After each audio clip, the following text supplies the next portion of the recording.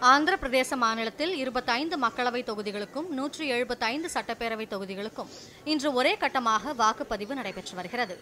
பதினாறாவது ஆந்திர சட்டப்பேரவை தேர்தல் வாக்குப்பதிவு காலை ஏழு மணிக்கு தொடங்கியது.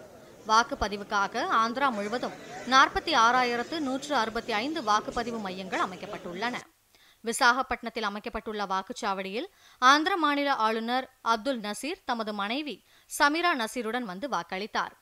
கடப்பா தொகுதியில் உள்ள ஜெயாம்பாள் அங்கன்வாடியில் அமைக்கப்பட்டுள்ள வாக்குச்சாவடியில் ஆந்திர முதலமைச்சர் ஒய் எஸ் ஜெகன்மோகன் ரெட்டி வாக்களித்தார். பின்னர் செய்தியாளர்களிடம் பேசிய ஜெகன்மோகன் ரெட்டி கடந்த ஐந்தாண்டு கால நல்லாட்சியின் விளைவாக மக்கள் தமக்கு வாக்களிப்பர் என்று நம்பிக்கை தெரிவித்தார். இதனிடையே தெலுங்கு தேசம் கட்சி தலைவரும் முன்னாள் முதலமைச்சருமான சந்திரபாபு நாயுடு குண்டூரில் அமைக்கப்பட்டுள்ள வாக்குச்சாவடியில் தனது ஜனநாயக கடமையை ஆற்றினார். பின்னர் செய்தியாளர்களிடம் பேசிய அவர் வெளி மாநிலங்களில் தங்கியிருக்கும் ஆந்திர மக்கள் திரளாக வந்து வாக்களிப்பதாகவும் தமது கட்சி ஆட்சி அமைப்பது உறுதி என்றும் நம்பிக்கை தெரிவித்தார். ஜனசேனா கட்சி தலைவரும் நடிகருமான பவன் கல்யாண் ஆந்திர மாநிலம் மங்களகிரியில் அமைக்கப்பட்டுள்ள வாக்குச்சாவடியில் தனது வாக்கினை செலுத்தினார்.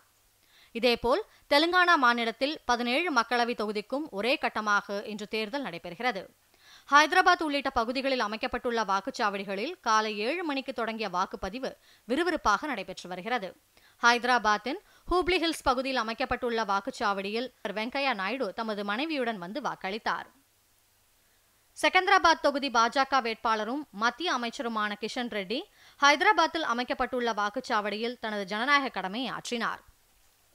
பின்னர் செய்தியாளர்களிடம் பேசிய அவர் வழக்கமான விடுமுறை நாளாக கருதாமல் வாக்களிக்கும் கடமையை வாக்காளர்கள் அவசியம் நிறைவேற்ற வேண்டும் என்று கேட்டுக்கொண்டார்.